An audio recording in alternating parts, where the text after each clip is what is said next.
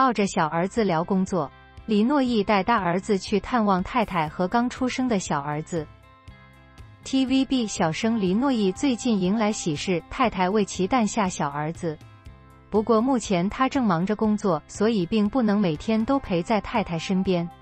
而他最近就带着大儿子一起去探望太太和刚出生的小儿子。他一手抱着小儿子，另一只手则通过电话来聊工作。